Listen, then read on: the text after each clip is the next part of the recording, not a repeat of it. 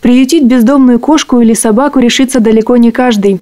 Много сомнений, вдруг попадется непослушная или еще хуже агрессивная. Однако эта семья не побоялась пушистого пополнения. Взяли собаку Милу, а к ней в придачу и кошку Моню. Теперь эту парочку не разлучить, да и жить стало гораздо веселее. Очень любит гулять, очень. Но к людям на прогулке она совершенно не пристает, просто ну, подходит немножко, нюхает и потом уходит. А нашли собаку волонтеры, совсем одну, испуганную на заброшенной стройке. Семье она приглянулась уже в приюте. Собачка была уже, ну, как сказать, после рождения щенков, то есть она была худая, ее там никто не кормил, в ужасном состоянии. Вот. Где-то она до этого жила, кто-то ее дрессировал, то есть она на задних лапах ходит, э, какие-то знает команды, она цивилизованно себя ведет на прогулке абсолютно.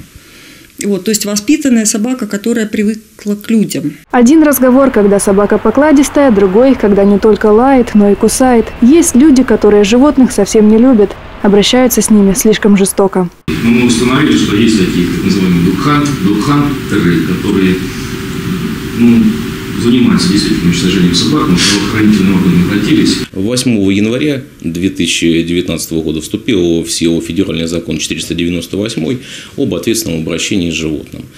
Согласно данного, животного, э, согласно данного закона, э, животные безнадзорные подлежат отлову, с ним проводятся ветеринарные манипуляции, в том числе вакцинация против бешенства, стерилизация или кастрация. А и после чего происходит возврат животного в среду его обитания. Если дворовые четвероногие не дают покоя, если они агрессивные, да еще и в стае, и неважно с чипом или без, бить тревогу определенно нужно. Только не заниматься самодеятельностью, а предоставить это комитету ЖКХ. Животных заберут, даже если ранее их уже отлавливали. Я вот приведу пример. Поступали заявки в последнее время, и через средства массовой информации произошло о том, что возле школы и детского садика есть э, стая собак. Ну, первые три дня, когда выезжали по этим адресам, это в районе улиц Дейнейки и Заводская, данных животных обнаружено не было. Но было поручено им в течение недели каждый день туда выезжать и инспектировать.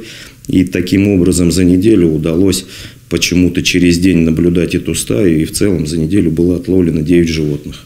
После отлова специальными службами животные отправляются в пункт передержки в деревне Щеплыгина. Там они находятся 20 суток. Забрать домой оттуда можно. Как? Подробная информация размещена на сайте городской администрации.